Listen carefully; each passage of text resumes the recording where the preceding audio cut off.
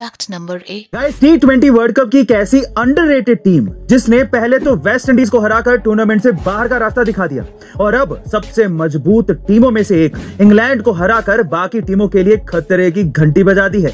जी हाँ गाइस अब बात करें आयरलैंड टीम की, जिसके बारे में टूर्नामेंट से पहले शायद किसी ने ये सोचा होगा कि ये इस तरह से धमाल मचा देगी।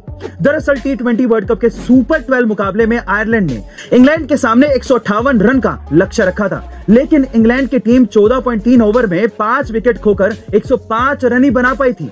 और वहाँ मूसलाधार बारिश हो गई और तब इंग्लैंड अपने लक्ष्य से तिरपन रन दूर होने की वजह से डकवर्थ लुइस के हिसाब से आयरलैंड से पाँच रनों से हार विराट का कमाल, सूर्य का धमाल और के राहुल की शानदार वापसी ने पड़ोसी देश बांग्लादेश को चारों खाने चित्त कर दिया। जी हाँ गाइज़ इन तीनों भारतीय बल्लेबाजों की मदद से इंडिया ने पहले तो एक सौ चौरासी रनों का बड़ा स्कोर खड़ा किया और फिर बांग्लादेश को 145 रनों पर रोकते हुए डकवर्थ लुइस के हिसाब से पाँच रनों से मात देकर टिकट टू सेमीफाइनल लगभग तय कर लिया और करारा जवाब दिया है बांग्लादेश के कप्तान शाकिब अल हसन को, जिन्होंने मैच से पहले कहा था कि इंडिया वर्ल्ड कप जीतने आई है, लेकिन हम उसे हराने। तो मौजूदा स्थिति यह है कि इंडिया तो पहुँच गया है सेमीफाइनल में, लेकिन अब शाकिब अल हसन जी को और उनकी टीम को जाना पड़ेगा घर।